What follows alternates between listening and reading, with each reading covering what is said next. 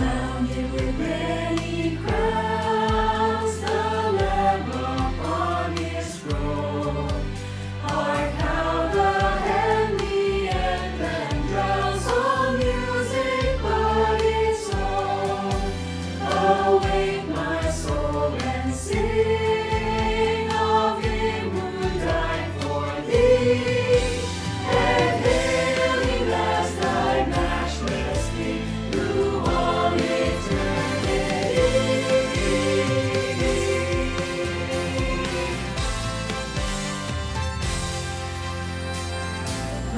in the Lord.